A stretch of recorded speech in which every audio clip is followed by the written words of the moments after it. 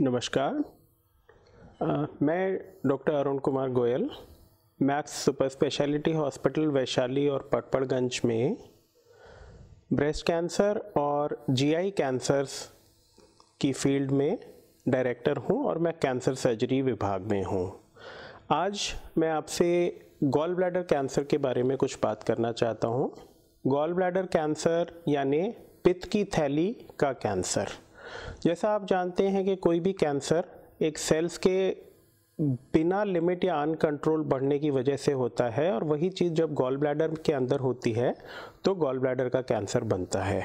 Gall bladder cancer उत्तर भारत के एक कॉमन कैंसर्स में से है और इसमें एक जो बहुत इंपॉर्टेंट फैक्टर या कॉज है, वो है गॉल स्टोन्स या पित्त की थैली की पथरी। सौ में से पचानवे गॉल ब्लैडर कैंसर के केसेस में पित्त की थैली में पथरी की समस्या होती है। गॉल ब्लैडर कैंसर के जो मरीज़, जब उनमें सिम्टम्स होते हैं तो पेट में दर्द, भूख कम लगना, वज़न गिरना, पीलिया इत्यादि होते हैं और ऐसे काफ़ी केसेस में बीमारी थोड़ा बढ़ी हुई मिलती है। तो इस बीमारी को हम लोग जल्दी कैसे पकड़ सकते हैं? तो उसका एक तरीका ऐसा है कि जब लोगों को गॉल ब्लैडर में पथरी के लिए जाँच की जाती है तो ऐसे काफ़ी केसेस में क्या होता है, पित्त की थैली में बोलते हैं कि वॉल उसकी जो है, पित्त की थैली की वॉल मोटी हो गई है, कहीं लोकलाइज थिकनिंग है। ऐसे केसेस में गॉल ब्लैडर कैंसर का शक करने से हम लोग कैंसर को जल्दी पकड़ सकते हैं। तो उसमें अच्छा यह होता है कि जब ऑपरेशन किया जाए, उसी टाइम पर, उसी वक्त पर पित्त की थैली की, बायोप्सी की जाँच करा ली जाए, जिसे कहते हैं फ्रोजन सेक्शन एग्जामिनेशन अगर फ्रोजन सेक्शन एग्जामिनेशन पे कैंसर पकड़ में आता है तो सेम सिटिंग में उसी बेहोशी के अंदर मरीज़ का कैंसर का ऑपरेशन भी किया जा सकता है। कुछ केसेस होते हैं जिसमें गॉल ब्लैडर का रिमूवल किया गया है पथरी के लिए।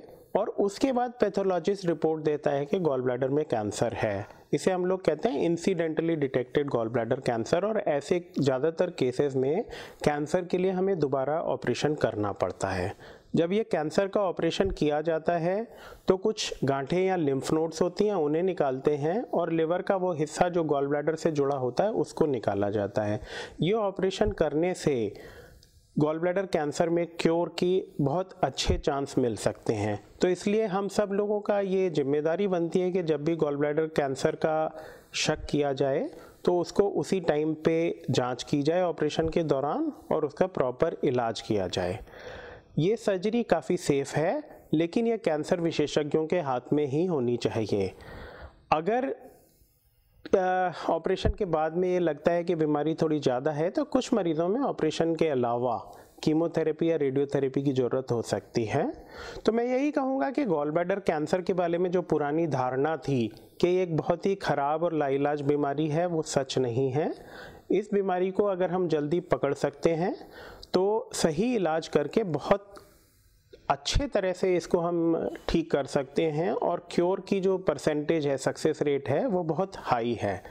तो मैं यही कहूँगा कि गॉल ब्लैडर कैंसर से डरें ना, इसका सामना करें और ज़्यादा अगर हम प्रॉपर तरीके से सही जगह पे इलाज कराते हैं तो सफलता मिलने की बहुत अच्छी संभावना है।